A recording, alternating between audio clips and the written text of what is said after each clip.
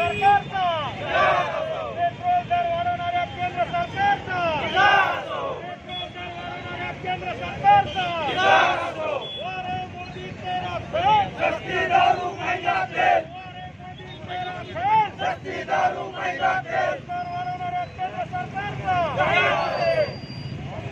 धिक्कार आहे. मोदी सरकारचं करायचं काय खाली मुंडावर पाय. मोदी सरकार खाली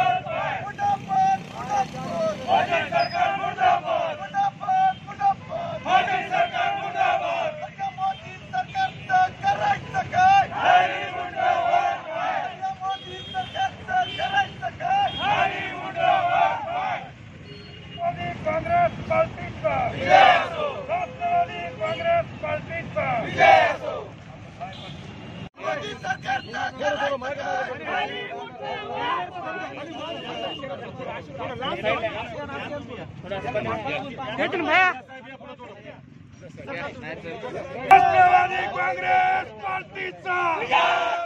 अरे केंद्र सरकारचं करायचं काय? अरे मोदी तेरा केस.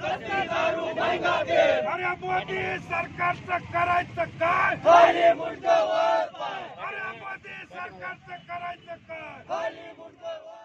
काँग्रेस पक्ष आज महाराष्ट्रभर केंद्र सरकारच्या अखत्याऱ्यात येत असलेला पेट्रोल असेल डिझेल असेल गॅस सिलेंडर असेल या गोष्टींच्या भाव इतक्या भरमसाठ वाढवून ठेवलेल्या आहेत की आज देशामध्ये कोरोनासारखं संकट असताना वारंवार लॉकडाऊन लावण्याची सरकारांना गरज पडत असताना अशा गोष्टींच्या वस्तूंच्या दर इतके महाग करून ठेवलेत की आज सामान्य लोकांना हे दर परवडत नाही आहेत मला आठवतं की मोदी साहेबांनी दोन हजार चौदाच्या आधी दरवेळेस प्रेसला बाईट देताना ते सांगायचे की माझं सरकार आल्यानंतर मी या सगळ्या गोष्टी स्वस्त करणार.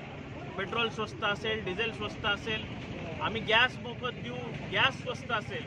आज परिस्थिती अशी आहे की मोफत गॅस ज्यांना दिला त्या लोकसुद्धा आज सिलेंडर त्यांनी बाहेर त्या ठिकाणी फेकून दिलेत. गोठ्यावर कुठे टेबल म्हणून वापरायला सुरुवात केलेली. पेट्रोलचा विषय असेल डिझेलचा विषय असेल.